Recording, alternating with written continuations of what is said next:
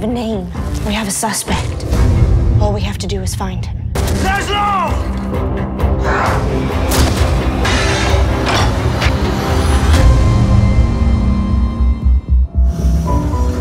The Alienist takes place in 1896 in New York, which was in the midst of the Gilded Age.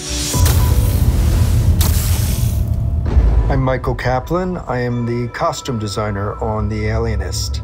I've worked on a lot of movies like Fight Club, Flashdance, and Blade Runner.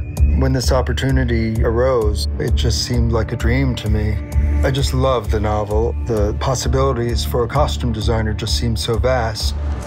In doing the research, I just loved all the black and white photographs. In limiting the color, I kind of kept that feeling. I'm Rudolph Mance, and I'm the associate costume designer. I don't think there's a fabric shop we didn't hit. I need to see what you saw. For Kreizler's character, we wanted to keep him very serious, studious. Chrysler was a young man, but I kind of wanted him to feel a certain kind of maturity and wisdom. The clothes make you walk and move differently. You have your pocket watch, your cane. All these things help you in understanding the time and understanding your character. John Moore. I'm with the New York Times. John Moore is a privileged man and has had quite a privileged life.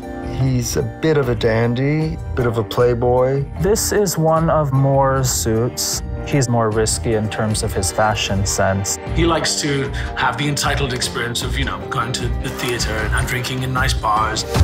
I'm an employee of the New York City Police Department. You will please accord me the respect that my position demands. Sara Howard is a woman who's working in a man's world. I wanted Sara's clothes to be no nonsense. Sara's very fond of ties. Wearing typically male clothing says a lot about her. She was always feminine, but there's a nice subtle masculinity to her costumes.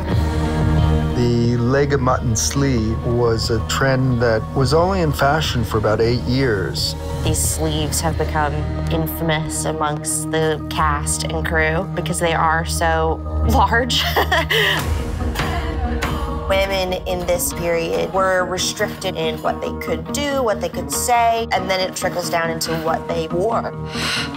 You just carry yourself differently when you're in a corset. Even just having to have somebody help you get dressed in the morning and help you to get undressed after work, it puts you in kind of a different headspace. Dakota has such grace and beauty. She made my job quite easy. To the beginning of a fruitful partnership. To the wardrobe to the props, everything is completely accurate. And then you add smoke and fire, animals, horses and carriages and rain. It feels real, it's all authentic. It makes it so easy for us as actors. If you turn around 360, it's all 1896. Everything has been delivered to us, and all we have to do is just believe it.